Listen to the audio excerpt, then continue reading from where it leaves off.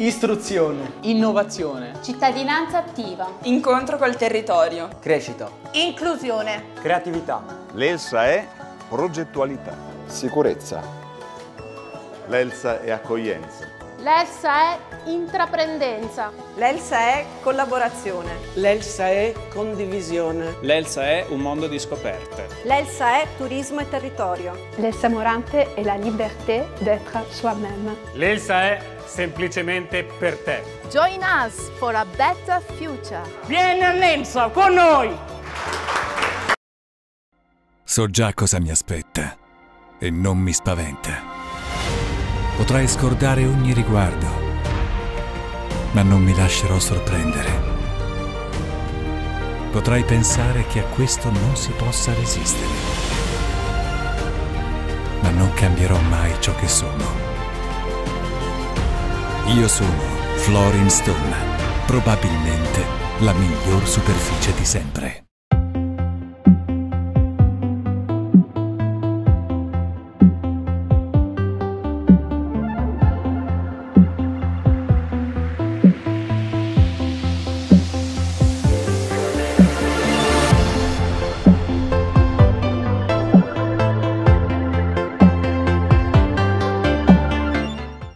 Buonasera.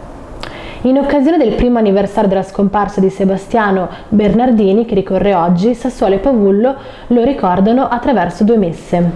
Una celebrata questa mattina nella parrocchia di Sant'Antonio e un'altra alle 18 nella chiesa di Santa Croce a Pavullo, trasmessa anche sul canale YouTube Parrocchia Pavullo. Nel primo pomeriggio invece il comune di Sassuolo ha voluto omaggiare la figura di padre Sebastiano con una videochiacchierata tra l'assessore Corrado Ruini e il giornalista Leo Torrini, disponibile sulla pagina Facebook del comune. È scomparso ieri all'età di 85 anni Giovanni Zanetti, storico gioielliero di Via Menotti. Zanetti lascia le figlie Maria Giovanna e Giuliana, la sorella Piera, i generi Gigi e Stefano e i nipoti Carlo Alberto e Giada.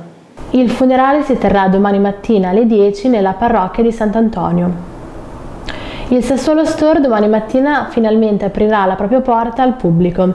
Il primo negozio interamente dedicato al mondo nero-verde si trova in piazza Garibaldi e in vista delle festività natalizie da domani al 24 dicembre sarà aperto tutti i giorni dalle 9.30 alle 13 e dalle 15.30 alle 19.30. Ed ora passiamo allo sport. Dopo la vittoria con il Benevento, nel turno infrasettimanale il Sassuolo fa visita alla Fiorentina per cercare altri punti e per restare aggrappato alle zone nobili della classifica. Ecco le parole di De Zerbi alla vigilia del match. Non, non sono tanto concentrato su, sui punti che abbiamo fatto, ma sono concentrato sul tornare a essere tutti in forma, cosa che non siamo, di recuperare gli infortunati e di ritrovare il gioco che ci ha sempre contraddistinto. Questo è un chiodo fisso che ho mh, mm, perché sono soddisfatto della classifica, sono soddisfatto da come la squadra è maturata eh, in, tante, in tante situazioni, però non, non siamo completamente soddisfatti. Dobbiamo ritornare a essere quelli giusti, quelli belli, quelli che giocano, quelli che creano tante occasioni, quelli che eh, trovano i giocatori tra le linee, quelli che, che andiamo a, a ricercare l'uno contro uno.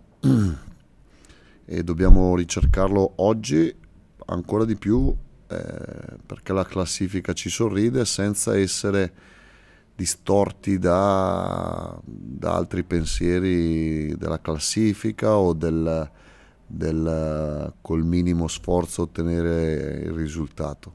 Stiamo facendo meglio, sicuro, stiamo rientrando, stanno rientrando dei giocatori dagli infortuni e quelli che non erano brillanti stanno tornando a essere quelli veri. Questo sì, ma questa, questo eh, argomento passa dalla volontà di tutti, dal desiderio di tutti, dalla consapevolezza di tutti che, che il risultato è più facile ottenerlo giocando. Quindi non deve essere eh, il pensiero solo alla vittoria, deve essere la vittoria attraverso quello che è il nostro DNA. A me dopo, dopo le partite non piace discutere perché non piace né discutere né andare a difendere il lavoro o la prestazione più di tanto. Partite col Benevento bisogna, si deve dividerla in due parti, primo e secondo tempo. Nel primo abbiamo giocato noi e il Benevento è ripartito 3-4 volte. E questo lo dimostrano tutti i dati, i dati del possesso palla, i dati dei tiri in porta, i dati delle palle giocate in area avversaria, i dati del quanto siamo stati nella metacampo avversaria. Nel secondo tempo in 10 abbiamo sofferto più del lecito. La partita con la Roma è uguale. La partita a Roma dice che nel primo tempo abbiamo fatto noi la partita nella metacampo avversaria, abbiamo portato più volte la palla nella loro area, abbiamo tirato più in porta e nel secondo invece non meritavamo di vincere, meritava più la Roma, questo sicuro. Però le partite durano 90 minuti e bisogna giudicarle tutti in maniera oggettiva, in maniera obiettiva. Ma no, sono maturati i ragazzi, mm, tutti, eh, nel non voler prendere gol. Poi mm, non credo che ci siano differenze. In queste cinque partite di clean eh, avremmo potuto subire gol in queste partite come nel, in altre probabilmente alla, alla prima occasione abbiamo subito gol. Quindi non, è, non sono state partite perfette. Adesso vogliamo con più forza non prendere gol ma non è cambiato niente a livello di organizzazione, di, di concetti, di, di... è cambiata la voglia di, andare oltre, di mettere la pezza a un errore di un compagno e, e fin quando la palla non tocca la porta, la rete, eh, abbiamo la, la convinzione di evitare il gol, questo sì. Beh, io penso che la, mh, incontrare la Fiorentina domani sia eh, la partita più difficile che potessimo trovare in questo momento. Se pensassimo il contrario, perdiamo domani. E questo gliel'ho già detto alla squadra, glielo dirò ancora. Ma è una partita difficilissima perché a Firenze innanzitutto hanno giocatori forti e poi si sono create le condizioni per, eh, per aspettarsi una reazione loro e quindi noi questo dobbiamo saperlo, quindi dobbiamo non fare più del, del solito, però dobbiamo eh, prepararla come eh, se giocassimo contro la prima in classifica, altrimenti domani saranno eh, problemi grossi. Già problemi li avremo, quindi non dobbiamo aumentare questi problemi perché togliamo qualcosa. E questo è un, è un altro passaggio di maturità della squadra. Il, il, la svolta mentale a volte ce l'hai, a volte torni indietro, invece per non tornare indietro dobbiamo preparare la gara di domani come se giocassimo contro la prima in classifica, esattamente allo stesso modo. Qualche cambiamento ci sarà in formazione perché lo richiede la partita, perché ci saranno tre gare in sette giorni e in base alla tipologia di gara penso possa venire faccio delle alternanze di formazione ma, ma consone alle caratteristiche dei giocatori e alla partita che eh, credo possa, possa diventare, possa venire fuori.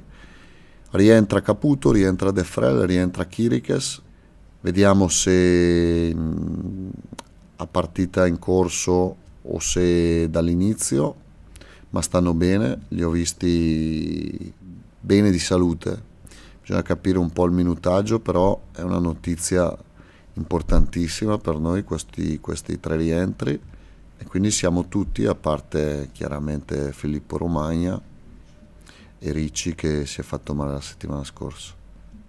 Volley Academy Sassuolo saluta Sara Taglier.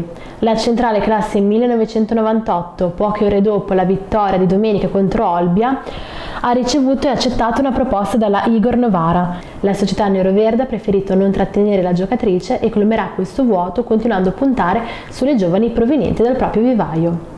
Grazie per essere stati con noi per questa edizione di Sassuolo GTG è tutto, l'appuntamento domani, buona serata.